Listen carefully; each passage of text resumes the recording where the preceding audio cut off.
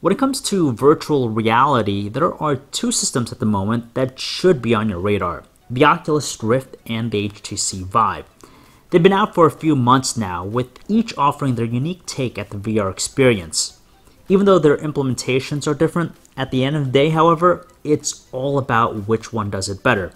Of course, other factors will influence the outcome, but we'll go into some of their strengths and weaknesses in this comparison.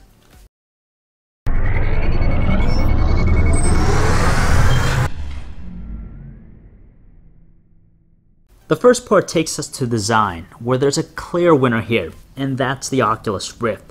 Why is that, you ask? Well, quite simply, it's straightforward, easy to adjust, it features integrated headphones, and it feels significantly more lightweight. These are hallmark qualities we'd want in a VR headset, and the Rift definitely delivers them. On top of that, there's a more refined quality about the Rift's design. It looks more like a finished product, whereas with the HTC Vive's industrial design, it can still be mistaken for a prototype of some kind. We also like that the Rift has built-in headphones, which articulate a bit and sound really good. Right now, the two systems are still tethered because of the cables that are connected to them, and those are the HDMI and USB connections. With the Rift, it's not as obtrusive because the two are fitted through a single, thicker wire. For the Vive, however, there are actually a total of three wires connected in series that are coming off the headset.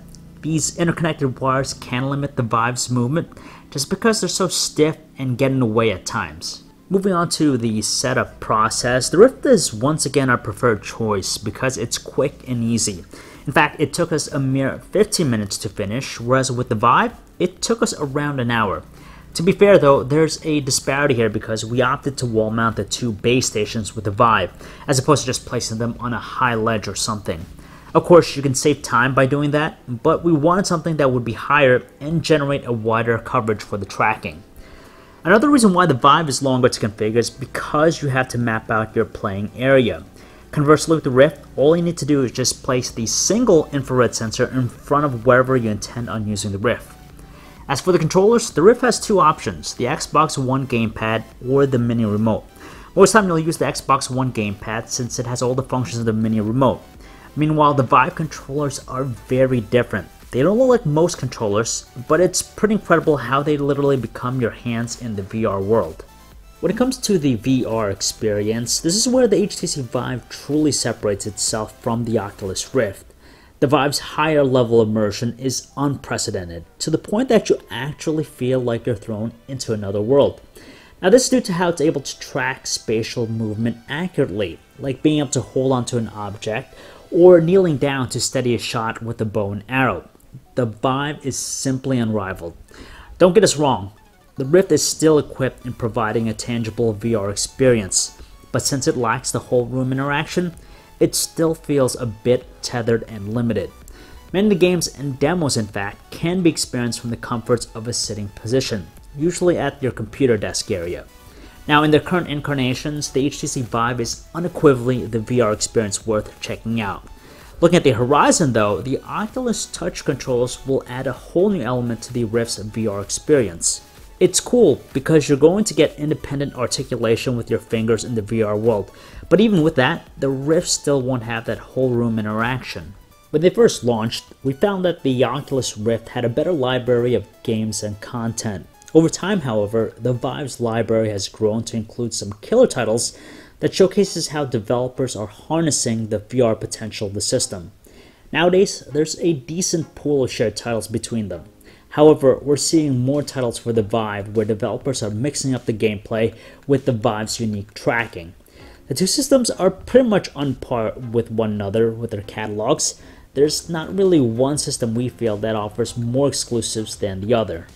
Pricing is always a determining factor for most people, especially when they have a tight budget. The Oculus Rift and the HTC Vive are selling for $600 and $800 respectively, so that's a modest $200 difference between them. And that's not including the cost of a PC rig capable of handling them, which would be at the very least an additional $500 cost. All told, we're looking at over $1,000 to jump right into virtual reality. Given their high cost to begin with, the $200 you'd spend additionally to get the Vive over the Rift is something that we feel is validated by the Vive's deeper VR experience. When I think about it, the Rift is that one small step over what we've been seeing with mobile VR, but the Vive is what we feel to be that giant leap. Sure, we'll see some cool additions, accessories, and enhanced experience that could potentially bridge the gap for the Rift, but its current state, your hard earned money is better spent on the Vive. Alright everyone, this is John V. Hope you like this video. These are the two best VR systems you could buy right now. With fall coming, we'll have a third option with the PlayStation VR, so it's going to be interesting to see how the landscape changes then. But in the meantime, if you want to learn about any of the devices I talked about here in the video, you could check out our website at VR Source, your source for all kinds of reality.